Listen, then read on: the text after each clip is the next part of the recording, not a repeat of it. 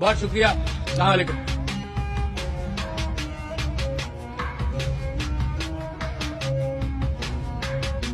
लेकिन एक second.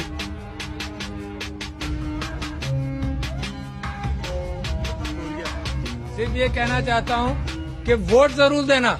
It is your responsibility